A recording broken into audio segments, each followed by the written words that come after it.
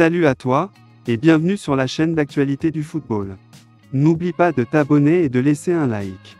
C'est de plus en plus chaud avec Mbappé.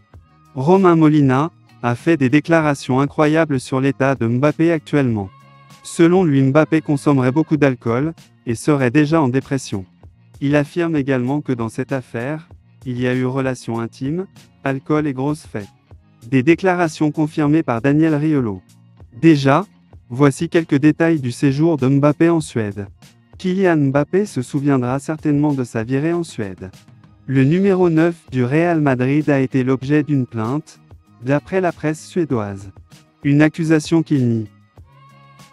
Tout comme ses proches, lui qui était simplement venu passer du bon temps dans la capitale suédoise. D'ailleurs, les détails de son séjour ont été révélés.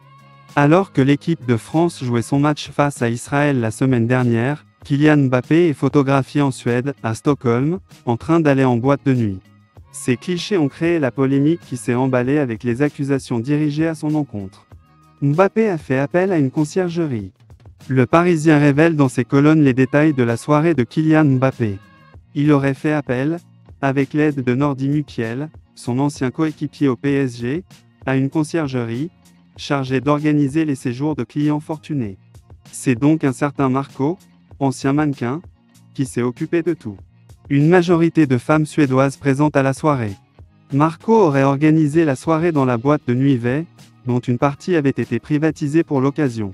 Les invités présents sont triés sur le volet et sont composés en partie de femmes.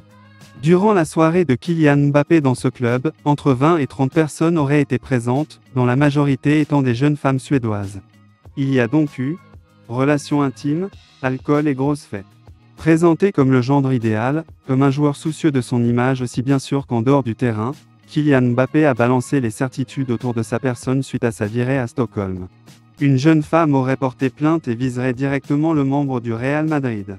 Comme indiqué par plusieurs journalistes, Mbappé se laisse aller depuis quelque temps. À 25 ans, Kylian Mbappé traverse une grave crise de confiance, d'image aussi.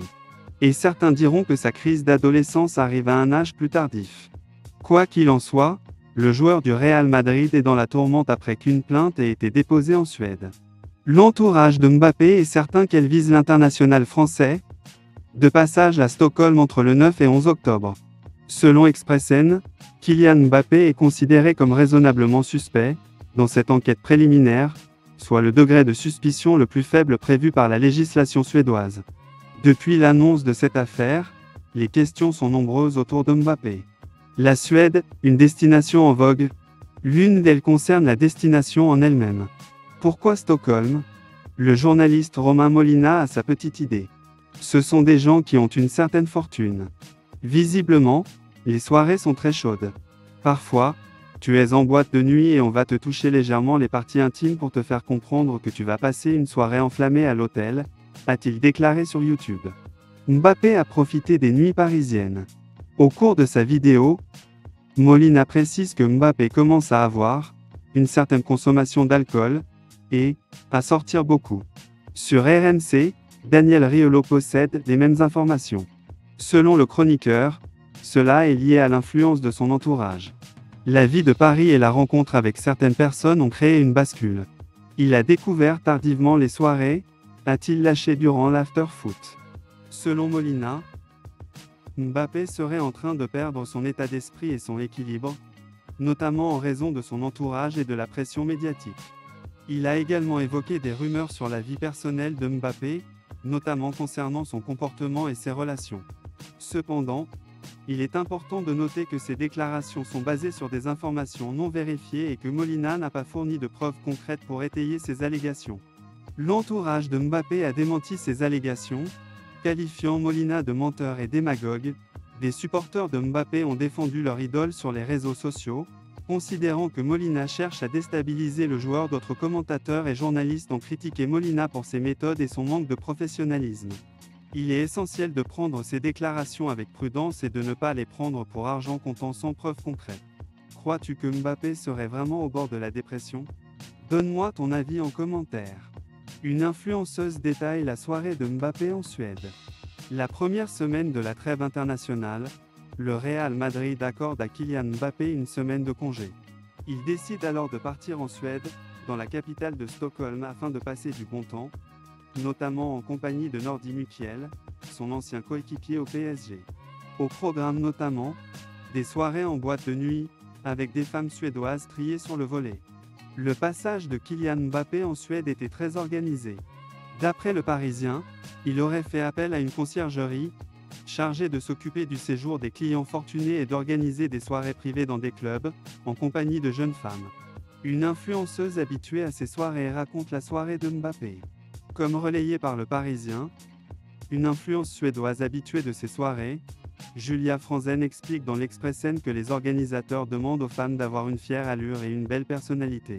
À noter qu'elle n'était pas présente parmi les 20 à 30 femmes présentes à la soirée organisée pour Kylian Mbappé.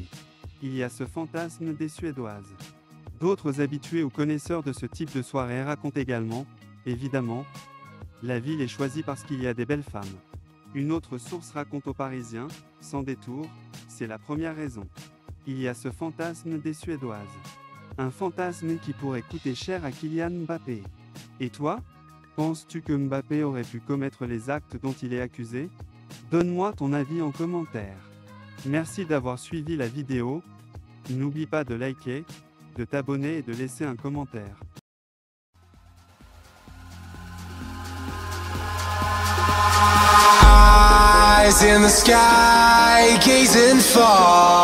into the night. I raise my hand to the fire But it's no use Cause you can't stop it from shining through.